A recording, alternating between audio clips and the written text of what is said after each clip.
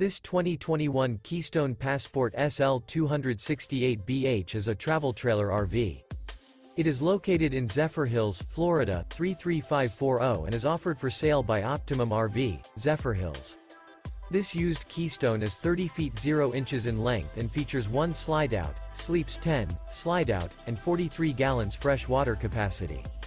The floor plan layout of this travel trailer features bunkhouse, front bedroom, outdoor kitchen, U-shaped dinette.